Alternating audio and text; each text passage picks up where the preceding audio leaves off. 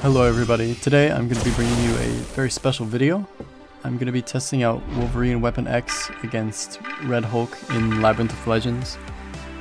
I got this guy for placing top in the 6.1 and 6.2 Legends runs. I placed top 20 in 6.1 and top 40 in 6.2. So this guy is a very exclusive champ and I was lucky enough to get a mutant to 5 class catalyst.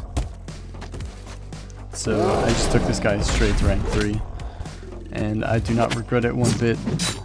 He's a very cool champ, uh, obviously very unique, and he's actually pretty solid. It's kind of weird to play, and uh, it's kind of an impractical playstyle, but overall, he's a lot of fun.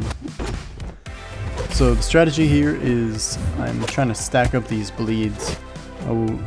Wolverine has a 50% chance to apply a bleed on every single hit. And his heavy attacks have a 100% chance to refresh the duration on all the bleeds. So you just kind of punch into them and you'll stack up these bleeds and drop some heavy attacks and it'll completely refresh all of them. So you can just stack more and more. Red Hulk's one of the uh, better opponents to do this to, just because you can punish his special one with a heavy attack, as well as his heavy attack. And uh, yeah, it's pretty easy to keep the bleeds up. Now, I'm not playing perfectly in this fight. I get hit a couple times, but it also just shows how crazy Wolverine's regen is. He just has a ton of sustain, and it's just a super fun champ to play.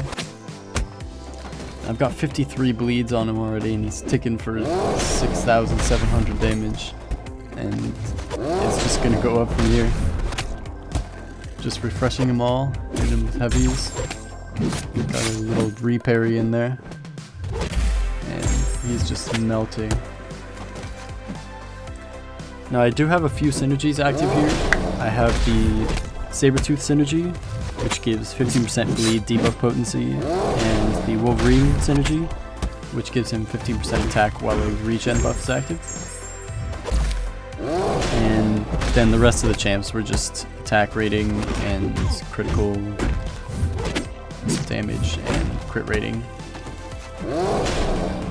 So yeah, as you can see now he's ticking for over 10k, he's got almost 80 bleeds up 84 now, and he's just melted.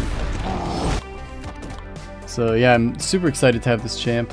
I'll definitely be bringing you some more gameplay of him over the next few days. And I'll catch you in the next video.